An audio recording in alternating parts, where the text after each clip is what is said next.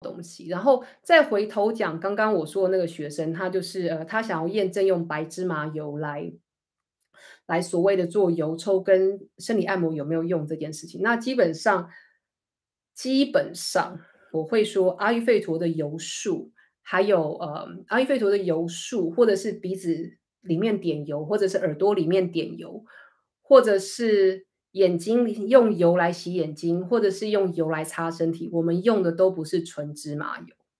OK，我们都是有草药油。为什么？就像我刚刚第一段直播有讲到的，草药油用芝麻油为基底的草药油，它已经没有芝麻油的特性了，它有的是其他草药的特性，而我们要的是其他草药的特性。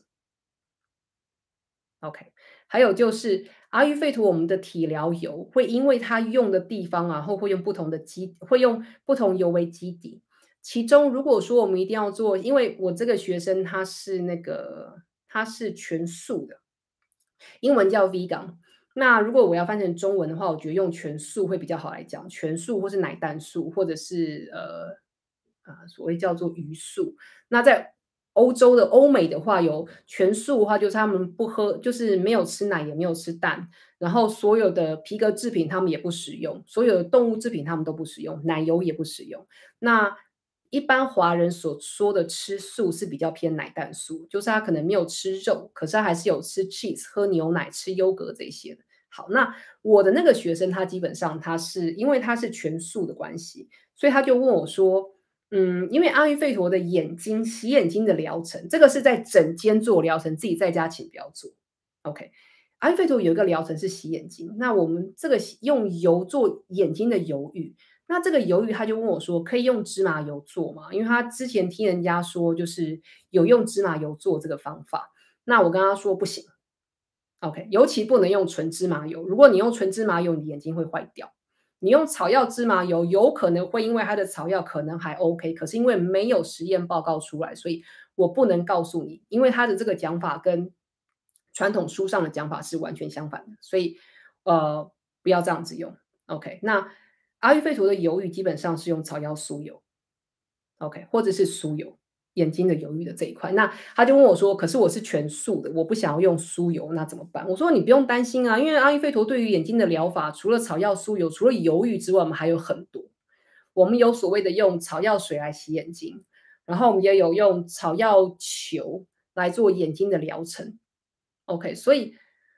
嗯，我会希望大家就是因为现在阿育吠陀在华人世界越来越流行。”那现在也有越来越多人开团带大家去，不管他今天是旅行社的背景，是瑜伽老师的背景，或是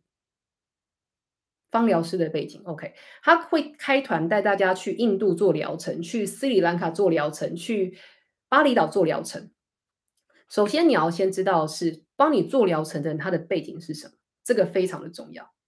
OK，不要你被人家触碰了你不应该被触碰的地方，你的私密地方，还以为这是一种。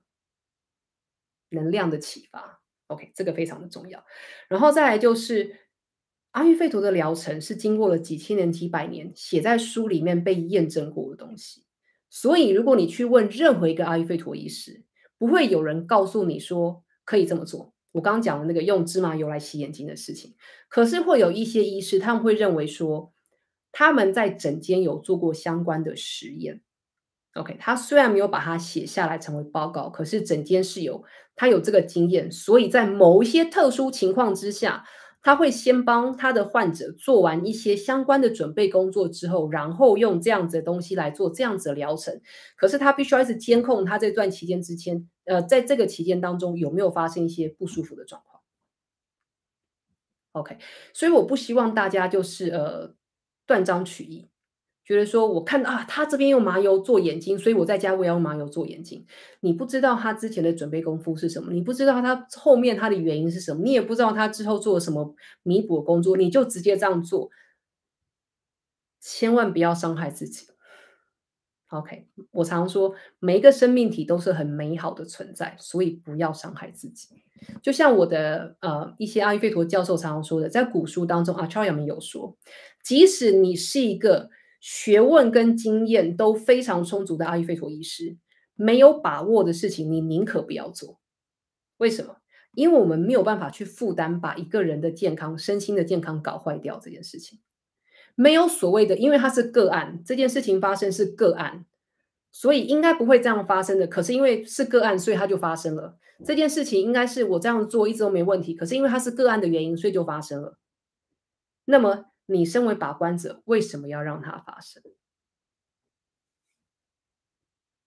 ？OK，所以我希望大家如果以后有机会，不管你是学习阿育吠陀，或者是